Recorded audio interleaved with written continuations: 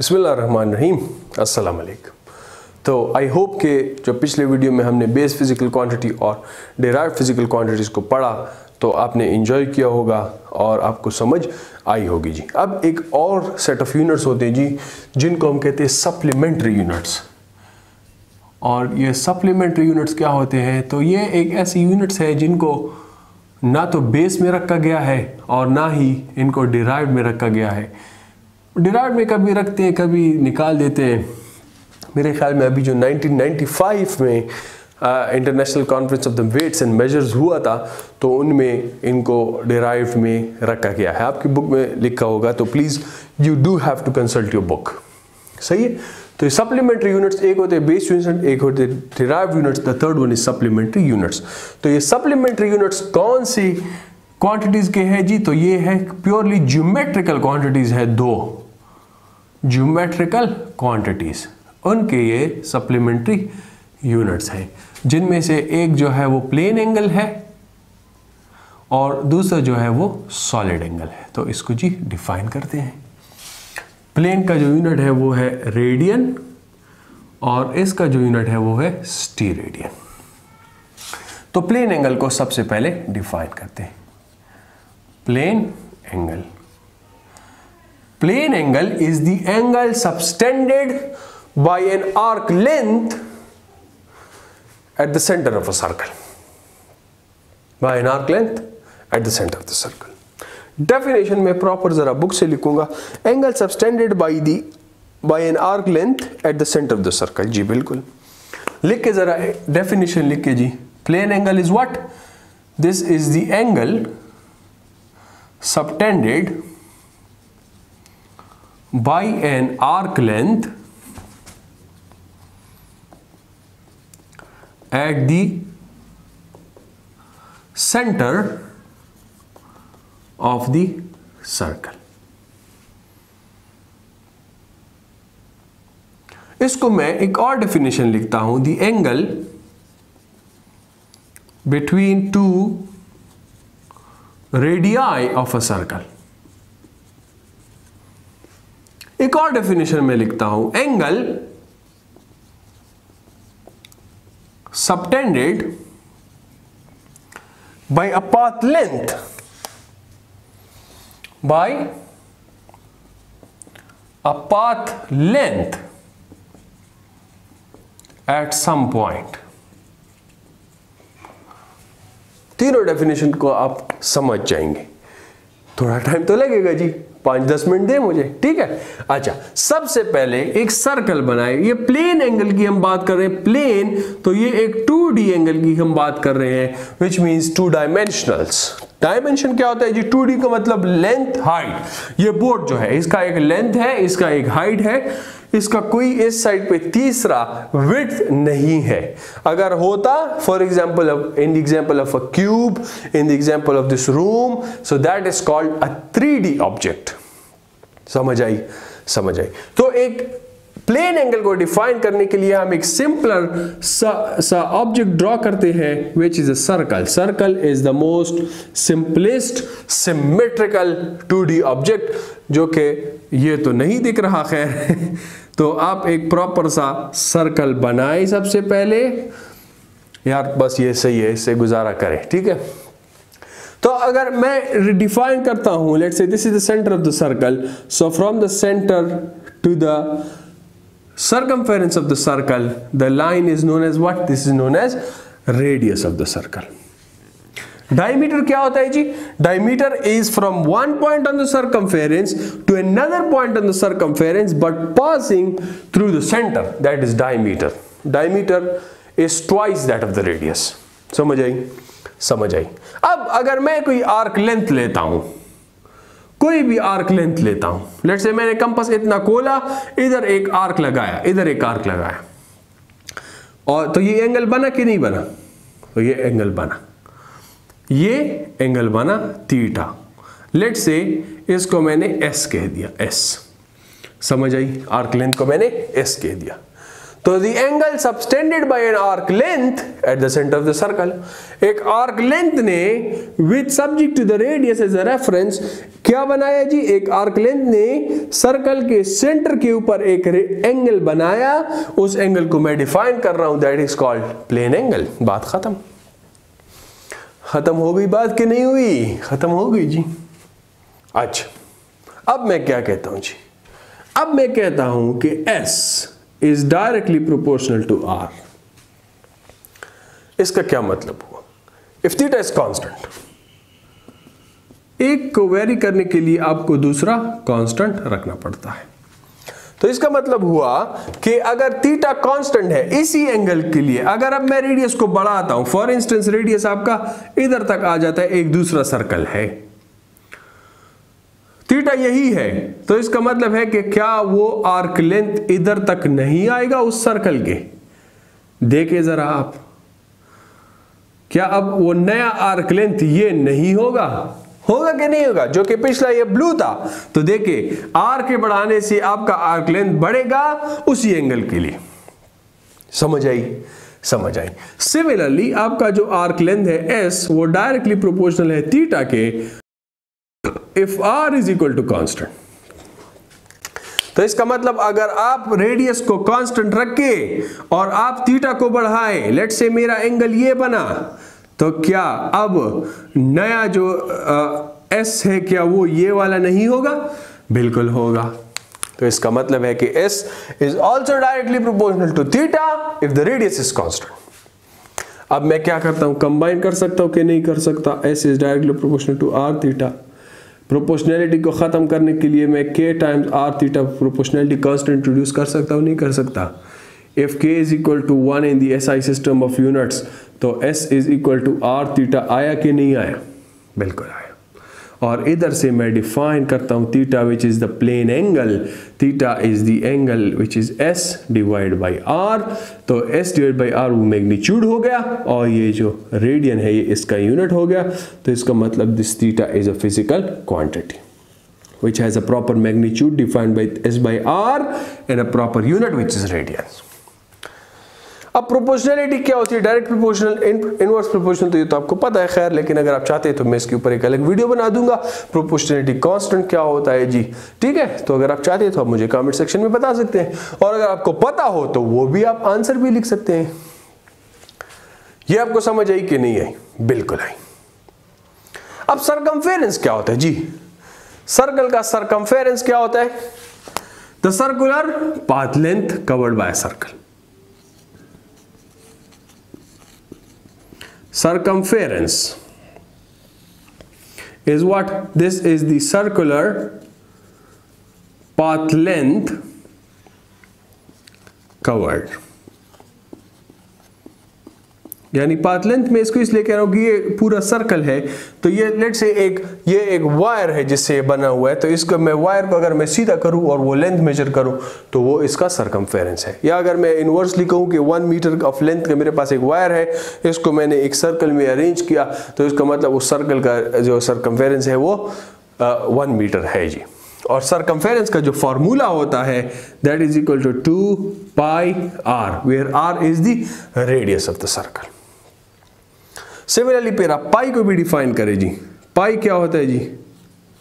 It is the ratio of the circumference of a circle to the radius of the circle ratio of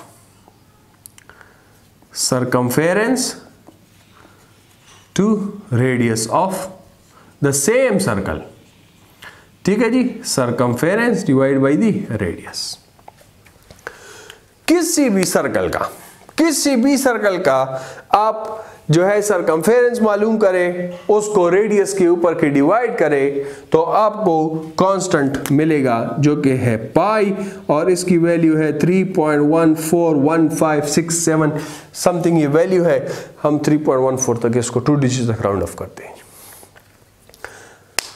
कोई circle है, उसका circumference 100 metres है radius 2 metres है, उसके लिए B पाई 3.14 है। कोई सर्कल उसका रेडियस 2 इंच है, उसका सरकमफेरेंस 5 इंच है, उसके लिए बी पाई यानी सरकमफेरेंस और रेडियस जो भी हो, लेकिन उसी पर्टिकुलर सर्कल के लिए आपने डिफाइन करना है। ठीक है जी? बिल्कुल ठीक है। तो ये आपके पास हो गई ये चीज़। अभी अगर मैं कहता हूँ अभी अगर मैं कहता हूँ क्या कि अगर देखें अच्छा एक मैक्सिमम मैक्सिमम कितना हो सकता है, मैक्सिमम? तो the angle subtended by the circumference of the circle the angle subtended by the circumference of the circle is तो ये कितना होगा? जी। या इसको मैं कहता हूँ the angle subtended by the circle at it centre angle subtended by the circle at it centre और the angle subtended by the circle at its center is what? तो देखिए आर्क लेंथ की डेफिनेशन आपने देखनी है, जी। Theta is equal to S divide by R होगा कि नहीं? S divide by R. तो इधर हम एस मैक्सिमम की बात कर रहे हैं, क्योंकि आर्क लेंथ इधर मैक्सिमम होगा। क्यों मैक्सिमम होगा? क्योंकि पूरे सर्कल को कवर करने के लिए ये आर्क लेंथ बढ़ रहा है, ठीक है? पहले एस इतना था, फिर इतना हुआ, फिर इतना हुआ इतना हुआ इतना हुआ। फिर इतना हुआ, इधर से आपने शुरू किया, वापस आप इधर पहुँचे तो ये आपने पूरा डिस्टेंस कितना कवर किया? एस मैक्स कवर किया कि नहीं कवर किया? और एस मैक्स क्या है जी? क्या इस सर्कल का सरकमफेरेंस है कि नहीं है? बिल्कुल है। तो सर्कल का सरकमफेरेंस है। इसका मतलब this is the circumference is two pi R और divide by R so this is equal to two pi so which mean कि एक सर्कल अपने सेंटर पे कितना एंगल बना रहा है जी? टू पाई रेडियन एंगल बना रहा समझ आई कि नहीं? टाइम ज़रा मेरे ख्याल में ज़्यादा हो गया है इस वीडियो में, लेकिन चले कोई नहीं। सॉलिड एंगल आप दूसरे में डिफाइन कर लेंगे। ये आपको समझ आई कि the angle subtended by a circle is two pi radian इसमें आपको कंफ्यूज किया जा सकता है कि द एंगल सबटेंडेड बाय अब सर्कल कितना भी रेडियस हो, उसका कितना भी सरकमफेरेंस हो जो भी हो, लेकिन पूरा सर्कल अपने सेंटर के ऊपर two pi radian angle subtend करेगा जी। अच्छा नेक्स्ट क्या है अब? नेक्स्ट है जी, इसका रेडियन और डिग्रीज का ताल्लुक हम आपको बताते हैं। कंप्लीट रेवोल्यूशन इसका मतलब एक सर्कल ने टू पाई रेडियन पूरा कंप्लीट रेवोल्यूशन में किया। तो इसका मतलब हुआ कि two pi radians is equal to एक और यूनिट भी है इस एंगल का विच इज़ डिग्रीज सो इसका मतलब ये 360 डिग्रीज है कि नहीं है? बिल्कुल है। डिग्री एक और यूनिट है ना स्टैंडर्ड नहीं है। कंप्लीट रेवोल्यूशन आपका 360 डिग्रीज होता है। इसका मतलब क्या हुआ कि रेडियन और, इसका आपको फ़र्क पता चल गया। तो इसका मतलब one radian is equal to what 360 divide by two pi which is what I believe 57.3 मेरे ख्याल में सम वट 57.3 आता है जी। बिल्कुल 57.3 डिग्रीज सो इससे आता है जी one radian is equal to 57.3 degrees और वन रेडियन को मैंने अभी डिफाइन भी नहीं किया। और वन डिग्री को भी मैं डिफाइन करूँगा अच्छा करते हैं जी। और इधर से आप डिग्रीज को भी मालूम कर सकते हैं कि one degree is equal to how much तो इधर टू पाई को 360 पे डिवाइड करें। सो so, टू पाई को अगर आप 360 पे डिवाइड करेंगे तो वन डिवाइड बाई 57 रेडियंस आएगा। समझिए वन ओवर 57 रेडियंस अच्छा। अब अगर आपने कन्वर्जन करनी हो तो अगर आपको रेडियंस गिवन हो, आपने डिग्रीज में करना तो आपको लेट से एन रेडियंस आपको गिवन है तो एन को डिग्रीज में मल्टीप्लाई करने के लिए आप इसको, उस एन को 57.3 के साथ मल्टीप्लाई करें तो डिग्री आ जाएगा। इसका मतलब आपको टू रेडियंस चाहिए। How much degrees is two radian तो टू को दो से मल्टीप्लाई कर दीजिए।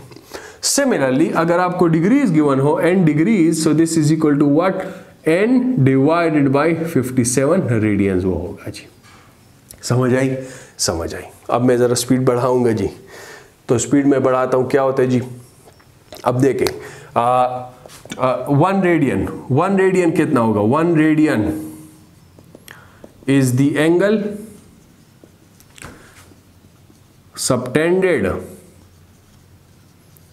by an arc length